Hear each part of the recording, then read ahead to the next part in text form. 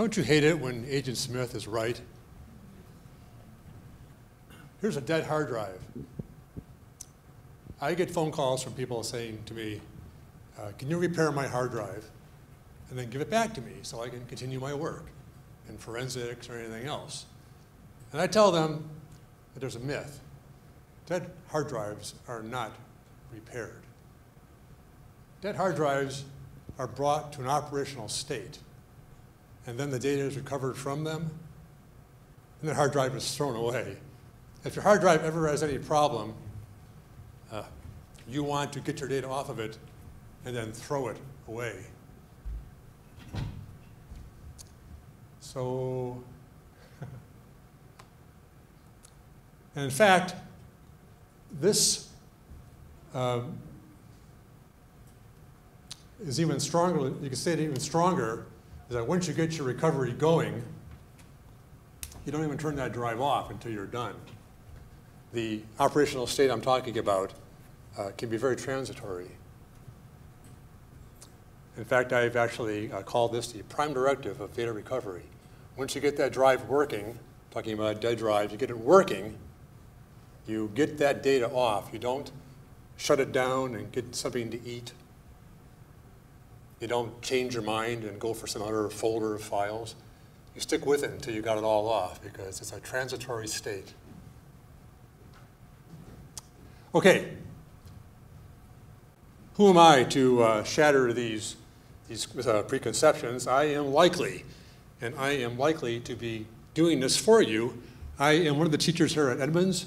I teach data recovery. I've got some expertise in uh, forensics. I know a thing or two about databases. Up in the corner there, that's me with a big smile on my face. I'm standing in New Jersey. I'm standing in West Orange, New Jersey. Where am I standing? I'm standing in Thomas Edison's library. I'm only maybe four feet from his desk. He died 84 years ago. He's the man that we think of when we think about inventor. That was a, good, a big moment for me. Point that way. Okay, best time to ask questions at the end or during lab. How do you know if your hard drive needs data recovery? Well, there are two prerequisites. One is that your data is not backed up or aren't other copies of it available. The second one is that your data has some value to you. You don't recover a drive if you've got it backed up. You don't recover a drive if there's nothing of value on there. Here's a hard drive that needs data recovery. This hard drive is full of water. Uh, it's a common myth that hard drives are airtight. Uh, they're not airtight, they're not watertight. There are 10 screws that go through that go through this drive, six into the case and four through the lid. It's sealed pretty tightly. There's even a gasket you can see up there. Uh, but it is not airtight. Air has to get into the drive. It gets in through, point that way. It gets in through that hole called the breather hole, and there's a small filter ab above that to keep out dust. The reason the drive is sealed is not to keep out air, but to keep out dust. Dust is the enemy of your hard drive. It's actually one of several enemies. I use the expression dust quenching because there's a thing inside there called the pillow, which will collect dust that happens to be inside the drive. I happen to have a pillow lapel pin. The pillow is actually a very important piece of equipment. You can buy these on my Etsy site. That was a joke. People were laughing. This is why dust is a problem. Dust is big. It may seem small to you, but to your hard drive, which has a small uh, read and write head flying above the surface very rapidly, even small things like dust uh, will cause a major collision. That's not good. There's also a hole or two or three, and they're called inspection holes. These are covered with sticky aluminum foil. You can pull those back and look inside your drive. If you do that, you'll void your warranty, but presumably your drive's are already um, out of warranty. And besides that, you know, if your drive is in warranty, you can send it back, and they'll send you a replacement. They won't have your data on it, you know, the one they send you. They'll just be a refurbished hard drive. Students at this school saw drives like this during the Oso mudslide recovery effort. I don't think anybody's here from that. Here's a hard drive. I opened it up. There's the pillow. Why is that pillow so dark? That pillow is dark because it has dust on it. Where did that dust come from? Well, the breather hole filter is very white. That dust did not come from outside. That dust came from inside the drive. Well, how did that happen?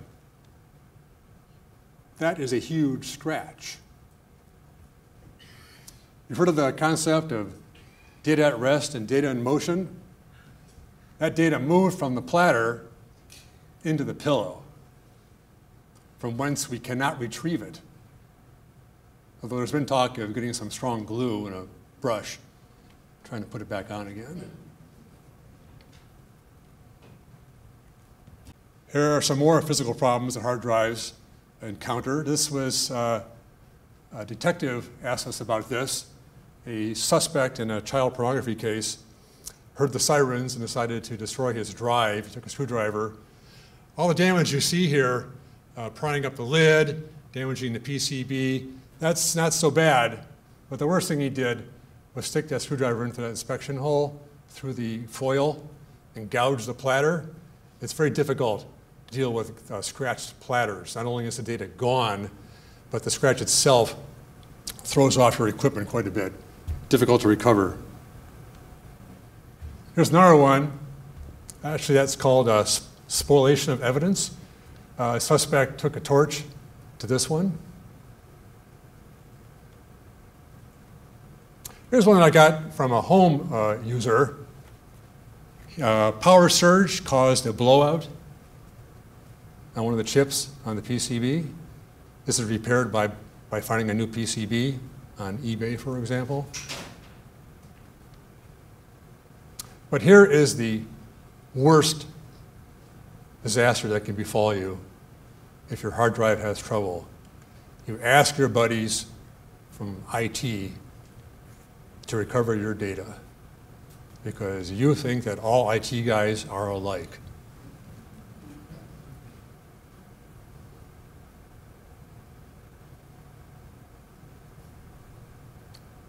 Don't do this. Unless, of course, your data has no value to you, you can do whatever you want. Okay, my talk has several parts. Each one gets a little bit deeper. I try to go through symptoms and explain what's causing them, some diagnostics, go back down to the drive level, see what's going on there, and some solutions. I will intersperse my talk with some comments about uh, what Edmonds CC has to offer. I keep feeling if I stand here, I'm blocking your view, but I guess I'm not. There's this feel, funny feeling. My objectives are to educate you, to wow you, and to entice you. So here's a, a message that you might get on your computer. It's sent out by your BIOS. It's called a smart warning. And it's, uh, it says uh, primary master hard drive, smart, status bad, backup and replace. And here's the part I like. Or press F1 and continue. Is it serious or not? Here's another one. This one is mediated through Windows. Immediate steps. Your drive's in danger of failing. Back up your stuff immediately. Or ask me again later. How are you supposed to react to that? I'll tell you. You, what you want to do is manually back up your files. Don't use backup. Your drive may fail while, you, while that's going on. You want to manually go to your most important file, maybe the one you just got through working on, and copy that off onto another drive or a USB thumb drive, immediately start with your highest priority stuff and work your way down. When you've got everything that you, you can think of that you really want, then you might run a backup on it, try to get the rest. Do not click on that ask me again later. I, I know you're trying to get your homework done and get everything done, but believe me, when you get a smart warning, you don't want to ignore it. And I'll tell you some more about that later. Smart, uh, anything that you name with an acronym that sounds like smart, immediately you get criticized and you get called stupid, right? That's what happened to smart. People say smart is stupid. And they're right because smart doesn't usually give you a warning. And when it does, it's like almost too late. So it's turned out to be not a very useful system to warn you about drive failure. That all being said, if you do get a warning, take it seriously. Talk about SMART, we have to talk about sectors and attributes because what SMART does is it keeps track of a variety of attributes like you're seeing on the page there. There are many attributes. This is just a sample. Uh, manufacturers have different sets of attributes that they keep track of. They overlap, but they're not identical. Let's talk about the sector first. In the IT world, we have complex systems. And complex systems are always handled by breaking them up into chunks. This idea of chunking is fundamental to uh, to computer systems. So your data um, is chunked into a 512 byte sector. Each byte you can think of as basically representing one character, like on the alphabet. So your data is stored in these sectors of 512 bytes each. Now, a sector is actually bigger than 512 bytes because there's room there for other things that the drive needs to control itself, to know where things are, uh, Steve Haley calls them GPS marks sometimes. It's, this drive needs ways to find out where your data is. That makes the sector bigger than 512, but your data is 512. Point that way. So a bunch of sectors make up a track. Track is laid out on the drive. The write head writes these tracks out. If you have you might have three platters in your drive. That's um, six sides. I've, I've drawn, the, the, tracks are shown there as they're those circumferential lines. You actually can't see those because they're magnetic. But if you wanted to imagine them, they're basically uh, concentric rings going around. Let's talk about attributes. If you go into the firmware of the drive, and this is actually a screenshot that I made, uh, you can look at the smart attributes, but this is not very convenient. Lewis talked about a user interface. This is not a very convenient user interface. It's basically a hex dump. It's an hexadecimal, which you can translate easily into, into English letters and numbers. It's also in a little endian format. If you have a strong inner geek and you're in the crowd today, if I see a little endian you know that I mean it's written backwards. So you can work with this if you translate it to ASCII and then reverse the order. But it's much easier to use a, a, a program to do this for you. Now, I've blocked off a lot of attributes to focus on two, the current pending sector count and the offline uncorrectable. So sectors that are given the attribute pending it means they're on probation. The smart scanning system tried to read them or write to them, and something was a little bit funny. It took a little bit too long. It puts it on the pending list to look, look at again later. But the other one there, 198, offline uncorrectable, that means it could not be read. It's a bad sector. Why do we care about that? Well, this paper came out in 2007 with three authors from Google, and they analyzed thousands of hard drives from Google server farms. And they said, yeah, smart, you know, all these attributes. We, we, we really can't make a good model to predict failure with that stuff. No one's ever been able to do it. But they did find out some interesting stuff. Look at the bottom one there.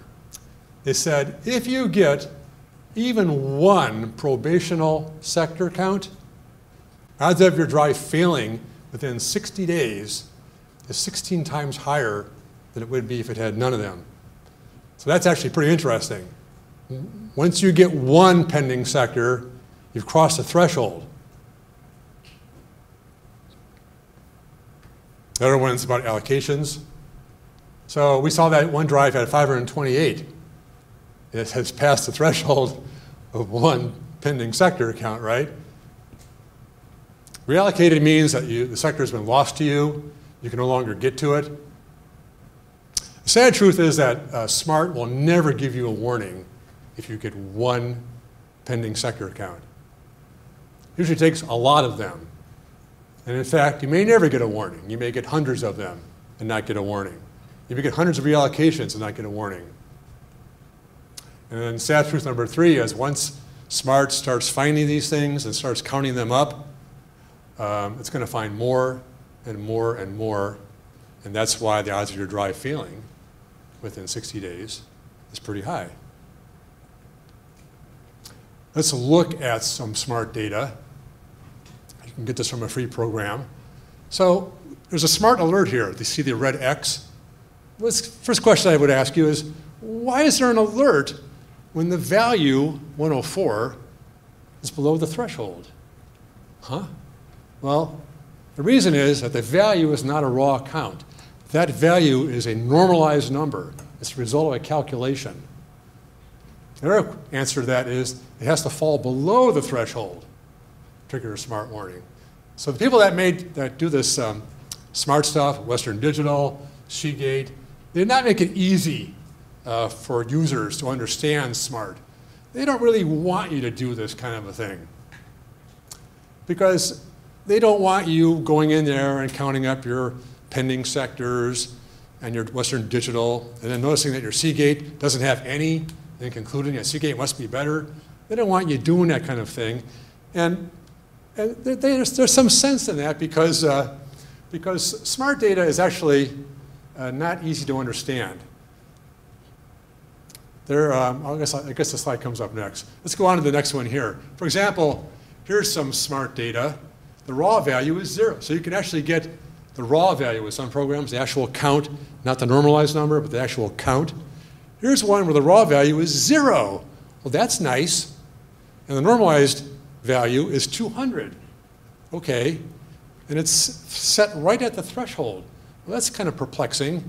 Wouldn't it, shouldn't it be above the threshold, you know? It seems like if it's already at the threshold, first one you get might bring you below it. So this might not be turned on.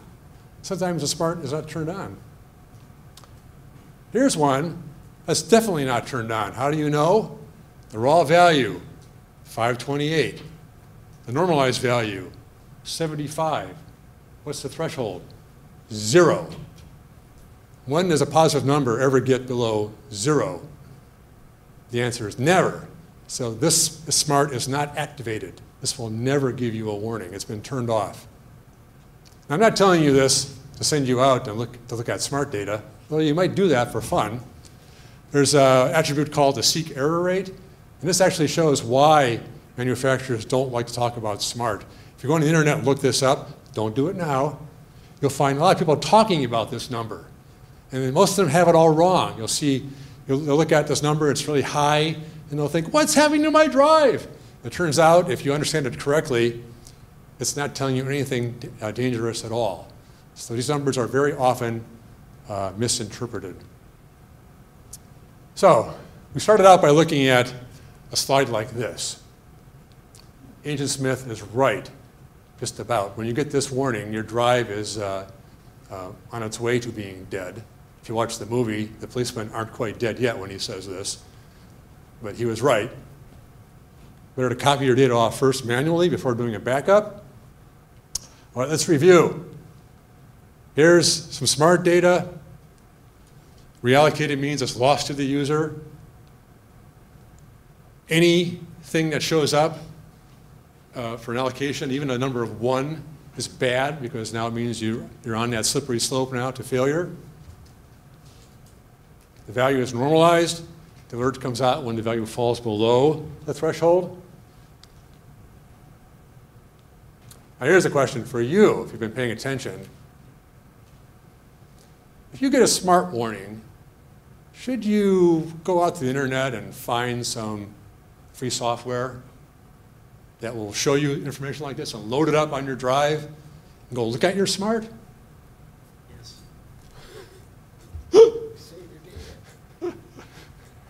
The answer to that question is, is no. You want to get your data off that drive. Go look at it later. Suppress your inner geek. Get your data off. You can look at the drive later with the smart, if it still runs. Now, to run those smart programs, your drive has to be running well enough to run them, right? Remember, your data is under threat. It's valuable to you, isn't it?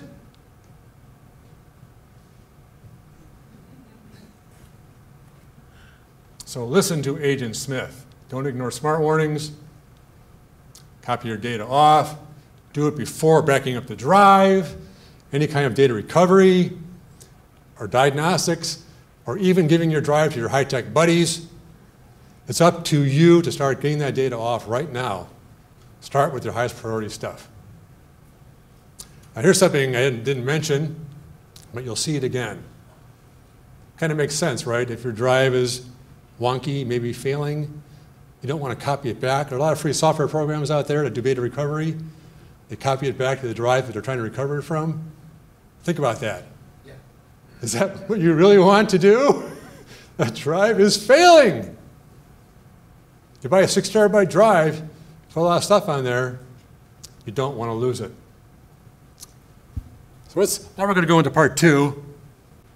What kind of problem is SMART detecting? This takes us a little bit deeper now into hard drive operations and data recovery. It appears to be uh, monitoring your data sectors and telling you about problems that are happening to your data sectors. Stay on the carpet. So what do we see? We're seeing SMART counting data sectors that are slow to read hard to read or impossible to read. It's telling them up. Here's a question for you. Why would a few dozen, maybe one, a dozen, hundred, thousand, why would encountering a few hard to read, slow to read, possible to read sectors, why would that cause a drive to fail? A drive's got millions and millions of sectors on it. These aren't special sectors in any way. Why is that the prelude uh, to disaster? Sounds like a drop in the bucket, right? The answer is, point that way, we're asking the wrong question. This brings us up to the fundamental question, fundamental problem of data recovery. Now, there's two systems going on here. There's a system that's the platter that holds your data, the sectors, magnetic fields. Then there's a system that has to read that data there are two systems. Which one is broken? That is the fundamental problem. How can we tell which one is broken? It makes a difference. You need both of them for the drive to work. Well, happens to be reading in my curriculum on this very topic. My curriculum has many, many, many uh, papers that I wrote on topics like this. Here's some more, comparing uh, forensics with data recovery. Here are some more, the prime directive, different kinds of hard drive failure, logical, firmware. There is no repair. Remember that kid with the spoon in the Matrix? There is no spoon. There is no repair. More articles from the curriculum. We've got a lot of stuff in this curriculum, taking apart hard drives, reallocation, clean room, how to use the clean rooms, rebuilding a RAID 5. If you enter my class, this is what you get. My class meets on Saturdays, six hours, five times. You want to bring your lunch. My curriculum covers various topics like this. I won't read them off to you. You can gl glance over them very quickly. If you're a, a forensic examiner, the one that I've just put the bar around, stand on the carpet, uh, is one you might care about. I keep feeling like I'm blocking people by standing here. I'm not blocking anybody. Am I blocking you? You're looking up, right? So, oh, so where does this fit into the curriculum, to the whole ecosystem of Edmonds? Well, CIS 294. It's the last class in the forensic sequence. Somebody always asks me about NAND. They want to know about mobile devices, electronic storage. So let's get this out of the way right now. Uh, talking about NAND uh, storage devices, they're found on, on uh, smartphones and tablets. Some laptops have them. This kind of storage is the kind that uses electronics to store data. These things on the right, solid state drives, little cards, things like that, thumb drives. Those are all examples of NAND storage. Currently, the curriculum that I teach only covers magnetic hard drive storage. But if you're patient, this is coming maybe a year, maybe a bit longer. We'll have this as well. Let's move on. Here's where we were, the fundamental problem of data recovery. Talking about those smart warnings. The answer to our question is, it's not the sectors, it's the system. It's the system that's trying to read the sectors that's, that's the source of this problem. We're not seeing sectors going bad. We're seeing a read head starting to go bad. The read head is starting to degrade. What I mean by that is the read head is not as sensitive as it used to be to those magnetic fields that needs to sense to get your data. That's what, that's what I mean by degradation. I will elaborate. Okay. So, supposed to be a curtain there. My transitions are, are missing from the slide. You pull back the curtain, sometimes you see things you don't want to see. We were in the wrong ferro, uh, ferromagnetic domain there. Here's where we want to be, is right here. Each of those little rectangles is a, a bit, a magnetic field that we call a bit. They have a magnetic uh, polarity, either north or south, which you can think of as zero or one if you want to. They're like little bar magnets. That is how your data looks on your drive, on your platter. Now, if you were to look a little more deeply with a, a magnetic force microscope, you would see that it consists of smaller uh, domains that have a north or south orientation. That gray piece of, of, of alloy there is actually not magnetized. Uh, ferromagnetic alloys have a natural tendency to have polarized domains in them. It's, and when they're like this, it's demagnetized because they're going in opposite directions. It's basically nulling out. There's no net north or south field here because they're altering directions. But if you send a, a, a write head over it to magnetize it, it aligns them all in the same direction. And now you've made a little magnet. A little magnet is your data. A little magnet has a very high uh, remanence. It actually holds its, holds its field very well for a very long time. Let's look at it from the point of view of intensities. This graph here is meant to show that the intensities vary a lot from bit to bit. It's not just one level of intensity. Now, if you were to measure all those magnetic intensities over the entire drive and make a plot of them, you might get a plot like this.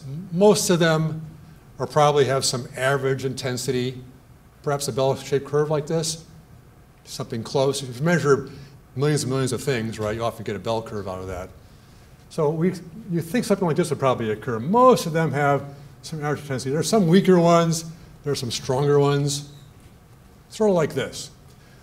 This is important for my explanation. Point that way.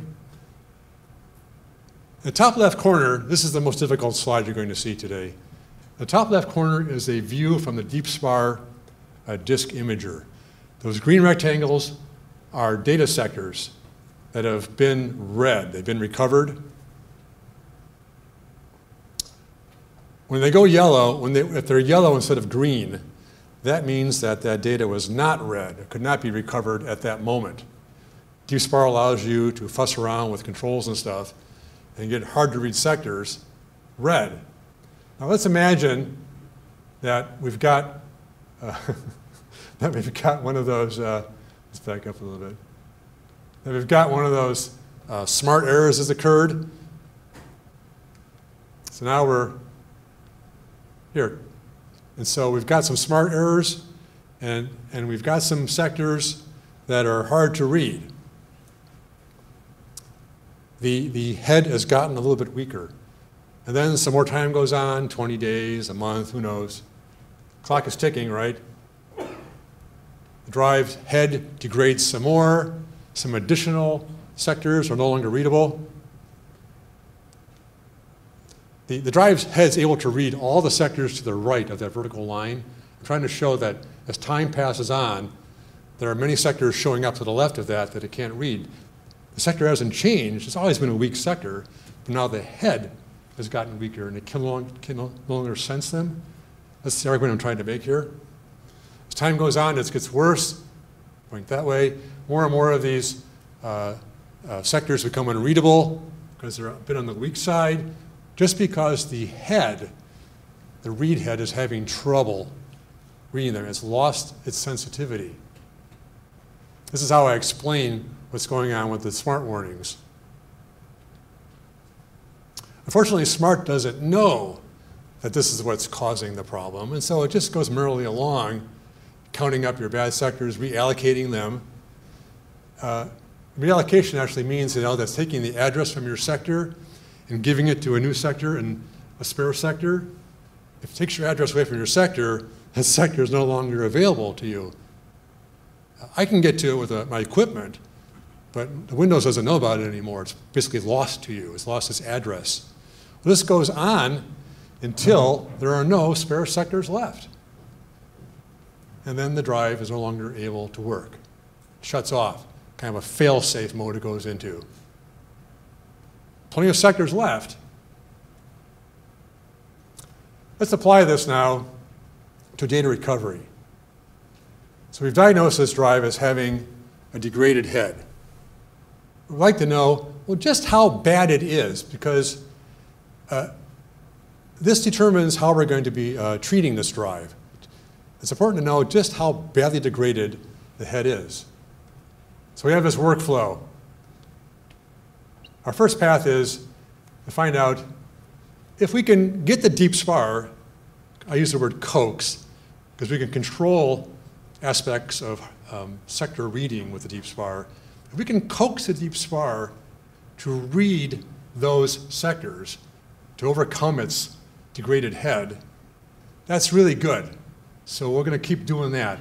In my class, you'll spend a lot of time learning how to tweak that device to get more and more of these sectors. That's, that's kind of the happy scenario.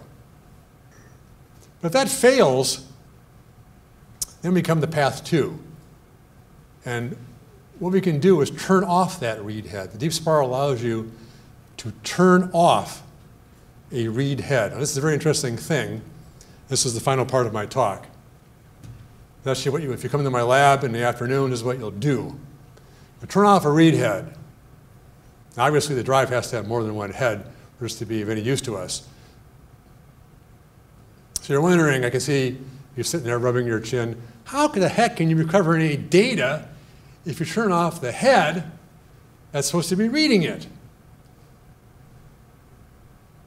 And to be an expert to answer that question, I'll answer it for you.